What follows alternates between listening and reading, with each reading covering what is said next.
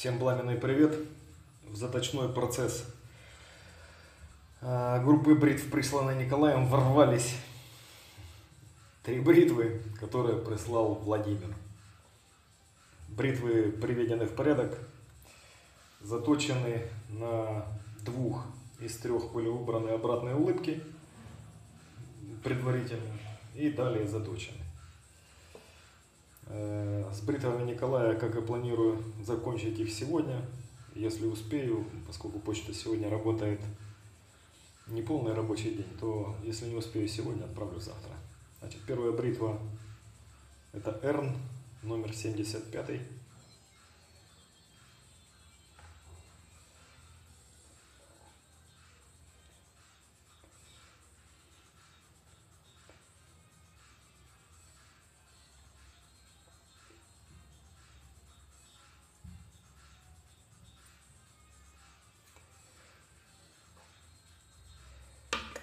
На номере втором остановлюсь буквально двумя словами длиннее.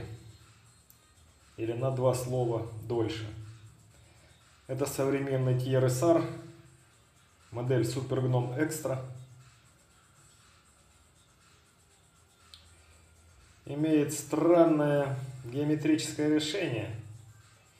И не половина, и не четверть выборки.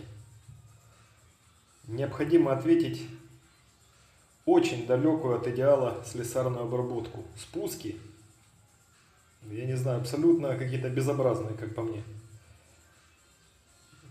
При всем при том, что мне искренне импонирует сталь, которую используют современные французские эти умельцы. Это Си-135 серебряное крыло. Классная сталь, пластичная, эластичная держит заточку нормально, но ну как-то, ну что это такое? Это заходные вот такие какие-то фаски. Я думаю, Гибсон, увидев такое, хватался бы за голову. Слесарка из рук вон. Опять же таки. Касательно стали вообще никаких вопросов нет. Сталь очень классная но массу времени потратил для того, чтобы, во-первых, свести это все дело хотя бы к какому-то общему знаменателю привести. Потому что оно все кривое, все косое.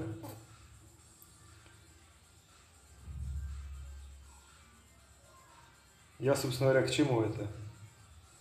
Все-таки, скорее всего, как по мне, самая лучшая новая бритва – это бритва старая, имеется в виду старых выпусков. Номер второй. Супер Гном Экстра. И номер третий, это тоже бритва современная уже. Это Бекер. Вот эти, кстати сказать, жуткие царапины на полотне, ближе к фаске. Это не я, клянусь. Оно таким и было. Вот фасочка красивая, все ровненькая, четенькая, яркая. И вот опять же таки, ну вот казалось бы, да, серьезная контора. Я молчу уже про деревянные оправы. Вот не нравится мне, даже могу объяснить чем.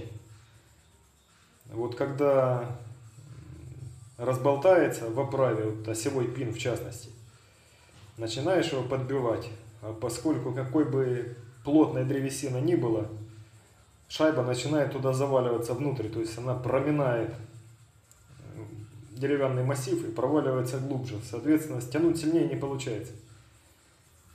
Несмотря на то, что вроде бы как бы оно обработано все ровно гладко относительно. Но как-то, как по мне, не, не самый лучший материал древесина для оправы. И вот опять же таки. А, вот делали отбивку с названием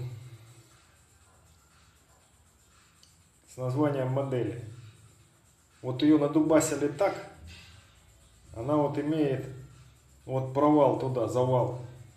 То есть внутрь каким-то образом, ну я не знаю, как так произошло. Хотя сама по себе сталь, опять же таки, вот э, какое-то дичайшее несоответствие одного понятия другому.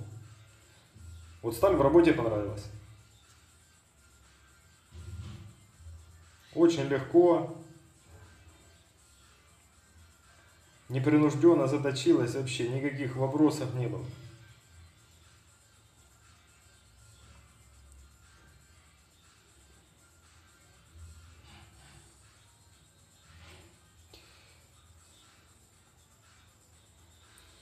Все-таки лучше, как по мне, лучше старое.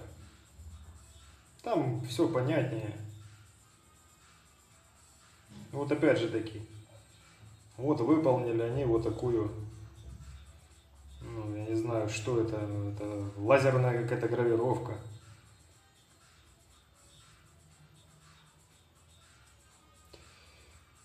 Ну, не знаю, как-то ощущение двоякое оставило. Стали, что в этом случае, что в этом случае с супергномом, стали прекрасны. Но ну, приложите же вы усилия и сделайте приличную слесарочку. Было бы отлично. Ну, это все, конечно, лирика. Главное, что, в общем-то, инструменты готовы. Сегодня отправиться знаком... законному владельцу.